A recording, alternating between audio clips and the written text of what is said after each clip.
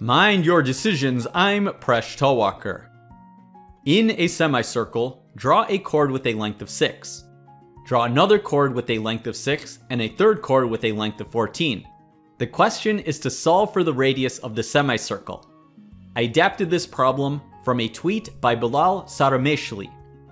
Pause if you'd like to give this problem a try, and when you're ready, keep watching to learn how to solve this problem.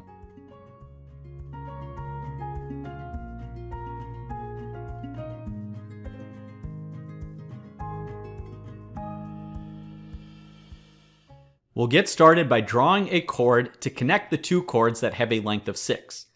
Because these two chords have equal length, the angles opposite them will have equal measure.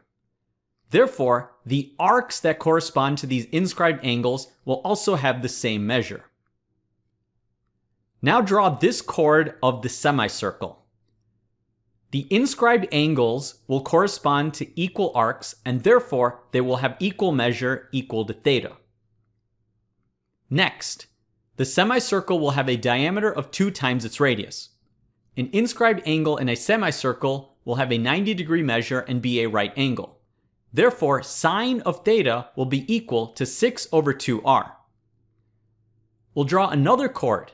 This is also an inscribed angle of the semicircle, therefore it's a right angle.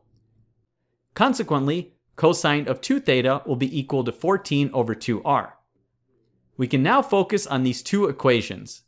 Cosine of 2 theta will be equal to 1 minus 2 times the sine squared of theta, and we can get sine squared of theta from the second equation. We also multiply the second equation by 2, and then we can substitute into the first equation. We now multiply both sides by 2r squared, and then simplify this quadratic equation. Since the radius has to be greater than 0, we get the solution that r is equal to 9.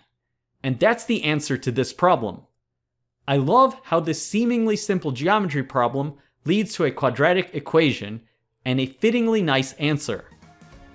Thanks for making Mind Your Decisions one of the best channels on YouTube.